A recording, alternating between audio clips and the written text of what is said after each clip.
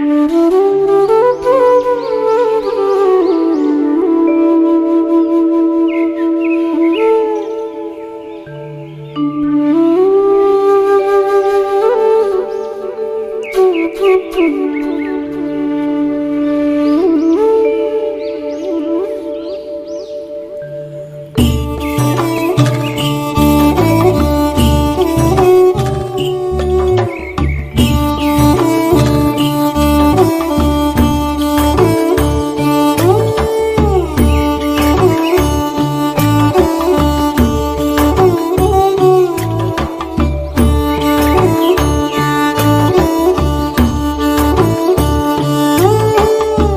आप देख सकते हैं, ये इंडिया बॉर्डर बिल्कुल करीब है, तकरीबन यहाँ से तीन चार किलोमीटर ये आप देख सकते हैं, सामने ये इंडिया बॉर्डर का जो टावर है वो आपको दिखाई देगा।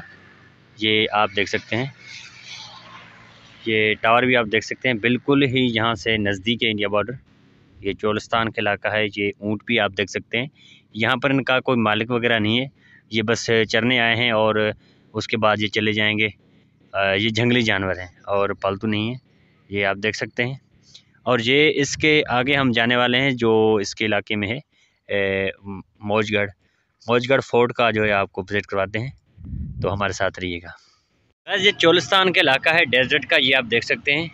ये इंडिया बॉर्डर के बिल्कुल करीब है, ये इस वक्त जो बारिशें हुई थी, उस वजह से इसमें पानी खड़ा हो गया था।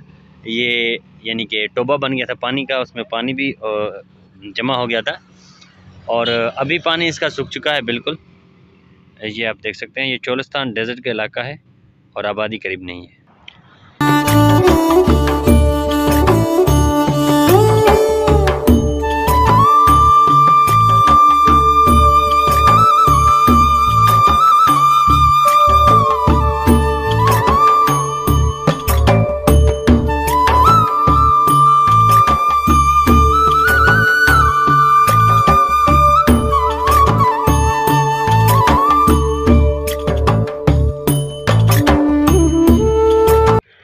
तो गाज हम पहुँच चुके हैं मौजगढ़ के एरिए में और मौजगढ़ के सामने ये एक छोटा सा घर है मड हाउस जिसके ऊपर सीढ़ी बनी हुई है। तो वो आपको दिखाते हैं। अगर हमारे चैनल को सब्सक्राइब नहीं किया तो चैनल को सब्सक्राइब ज़रूर कर दें। शुक्रिया। गाज ये घर है, ये इसकी सीढ़ी भी आप देख सकते हैं। बिल्कुल मिट्टी की बनी हुई है और ये उनका किचन एरिया वगैरह है, जो इस वक्त टूट फूट का शिकार हो चुका है, बिल्कुल। और उसके बाद ये इनके माल मवेशी का कमरा होता था वो भी इस वक्त टूट चुका है और ख़ुद भी यहाँ बैठते थे ये सर्दियों में। अब ये बिल्कुल खस्ता हाली का शिकार है और भी टूट भी चुका है। और उसका साथ जो कमरा है वो कमरा भी बिल्कुल टूट टूट का शिकार है। और सीढ़ी भी आप देख सकते हैं वो भी इस वक्त जो है वो टूटने वाली है। और ये परंदों के लिए उन्होंने टोकरे बनाए और टोकरे रखे हुए हैं उन्होंने।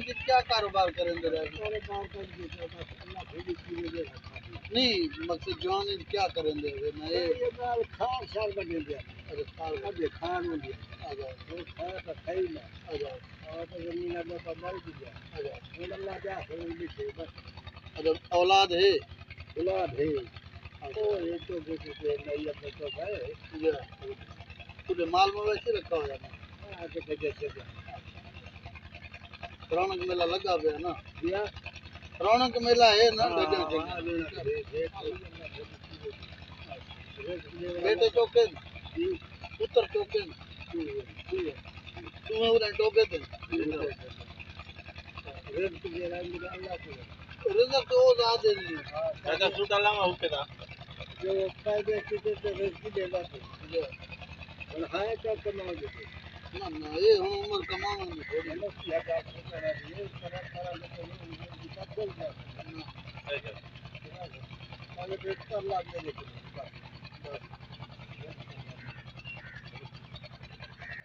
गाय इस बाबे की आपने गुफ्तु सुनी। उसका कहना है कि हमारे तीन बेटे हैं जो इस वक्त तोबे पे रहते हैं, या फिर वाटर पॉन्ड पे माल मछली लेके जाते हैं, चोलिस्तान रोही में। और ये इनके मड हाउस साथ में है। और इसके ऊपर आप डिज़ाइन भी देख सकते हैं, उन्होंने कैसे कैमल का डिज़ाइन बनाया है, उनका। ये आप देख सकते हैं इसके करीबी एरिया।